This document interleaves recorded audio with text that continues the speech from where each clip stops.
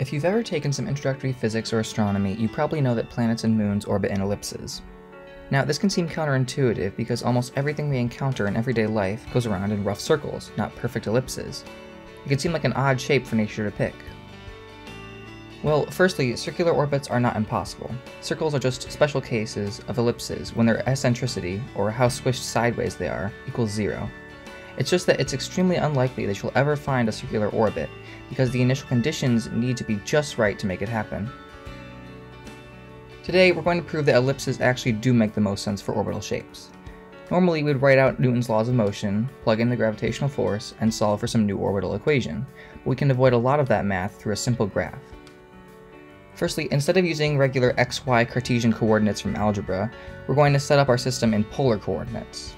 Thus, rather than representing the orbiting planet's position in terms of x and y, it'll be represented by its distance or radius from the center star, r, and its angle from the x-axis, theta. The entire orbit can be shown in terms of r and theta. Okay, now we can start the proof.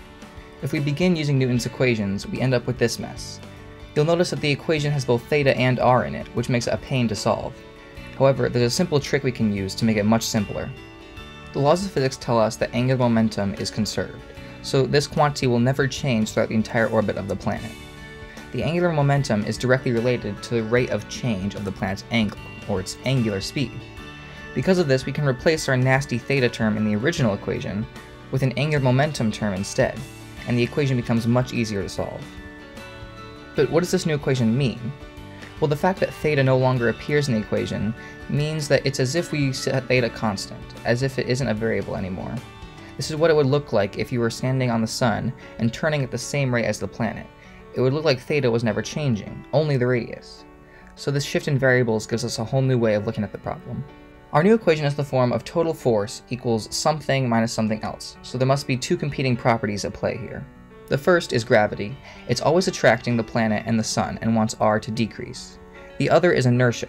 It always wants the planet to continue in a straight line at constant speed, so it is constantly resisting gravity and trying to increase r by falling out of orbit into a straight line. The shape of our orbit in the end depends on these two properties. Okay, back to the proof. Newton's laws also tell us that forces can be represented visually through a potential field, which you can think of as a sort of topographic map the force will always pull an object down the hill of a potential field to lowest point, just like gravity pulls objects down a hill to the lowest point possible. Now, if we turn our force equation into a potential field, this is what it looks like. The graph shows the potential energy as a function of r, the radius. When the planet is close to the sun, the potential is very steep and pushes it away, since the inertia term outweighs the inward pulling gravity term.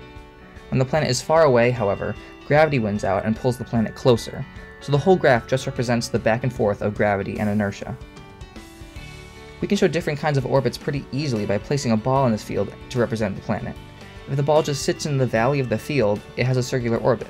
Throughout the entire orbit, the radius never changes.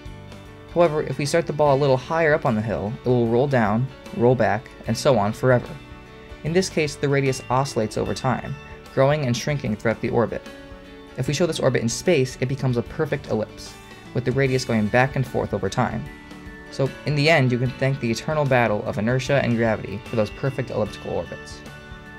Thanks for watching. Please consider subscribing, liking, and checking out my other videos. See ya!